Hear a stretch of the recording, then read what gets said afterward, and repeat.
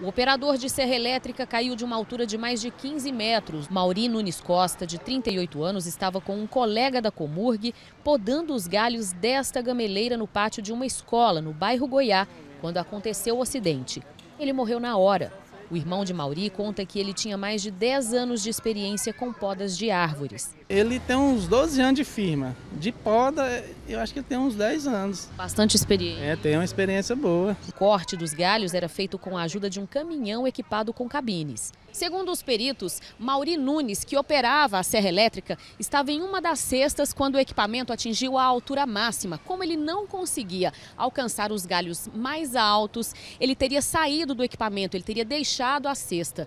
E foi nesse momento em que aconteceu a queda. Por uma opção para ele alcançar esse galho, possivelmente o equipamento dele não tinha alcançado, ele, ele decidiu sair é, possivelmente ele não estava com o cinto a, a, ancorado nem no cesto nem no galho. Quando ele cortou esse galho, o galho primeiro caiu e na vibração desse galho o corpo dele foi lançado e ele caiu, ele caiu em queda livre sobre esses galhos que já estavam cortados.